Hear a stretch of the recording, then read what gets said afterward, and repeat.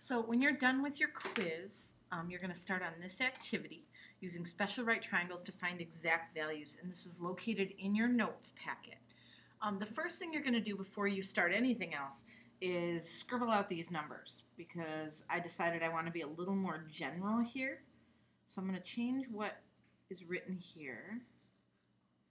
Okay, so what you're looking at here are the special right triangles, and you may remember those from last year the 45, 45, 90, and the 30, 60, 90.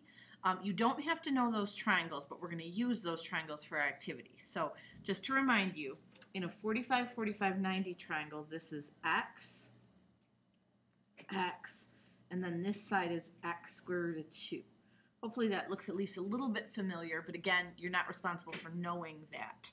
Okay, um, This is just how we're going to fill in our table down below. And then on the 30, 60, 90, the short leg is x, the hypotenuse is 2x, and the longer leg is x square root of 3. And it's going to be kind of hard to see, but make sure you know that, like, for example, this is a 45 degree angle. Okay, again, I don't know if you can see that eh, a little bit. Um, that this is a, this would also be 45, by the way, that this is 30 degrees and this is 60 degrees. So the whole goal for today is to find exact values for sine, cosine, and tangent of these three angles, 45, 30, and 60.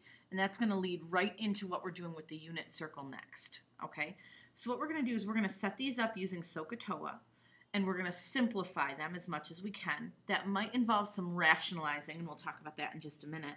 And then we're going to put the exact value down here. And you may remember from back in chapter 8 or a couple times this year, we've talked about exact values are not decimals. So that's why we're not just typing sine of 45 into our calculator.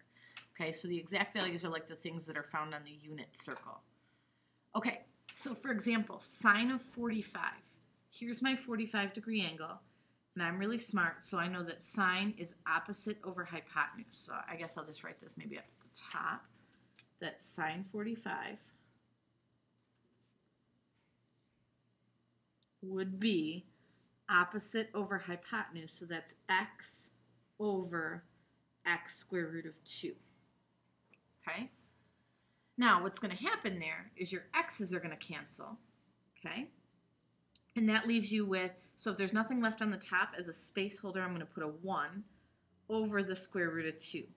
And I'd love for that to be my answer. Um, but remember, there is a rule in math that you can't let, leave a square root on the bottom. And I'm not sure if you remember that from, I'm not sure if we talked about that this year or if you've seen it in previous years. I know you saw it last year in geometry, but I can't have a square root on the bottom. So I'm going to do a process called rationalizing. That's what this rationalizing thing is all about. So what I'm going to do is I'm going to multiply by another square root of 2 because square root of 2 times square root of 2 is really going to make um, it's going to make the square root cancel out because you're squaring a square root. So multiplying by a square root of 2 is going to leave me with just a regular old 2, and that's perfectly fine to have on the bottom of a fraction. But if I multiply by this on the bottom, I have to multiply by that same thing up on the top. Okay? Because now I'm really just multiplying by a 1. This whole thing is equal to 1, and multiplying by 1 doesn't change my answer at all. It's just going to change the way it's written. So then the top here, 1 times square root of 2 would just be square root of 2.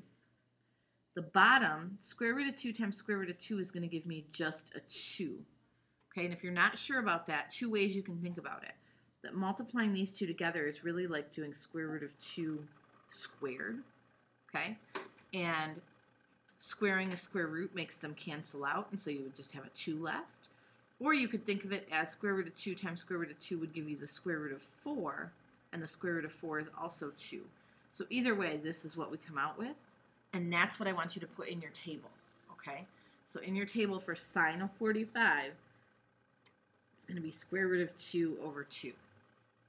So now your job is to go through and, and calculate the rest of these. Some of them are going to involve this rationalizing, okay, and remember that rationalizing comes in anytime you have a square root on the bottom. Some of them won't but they are all going to have two x's in them, one on top and one on bottom, and so you can always cancel out your x's.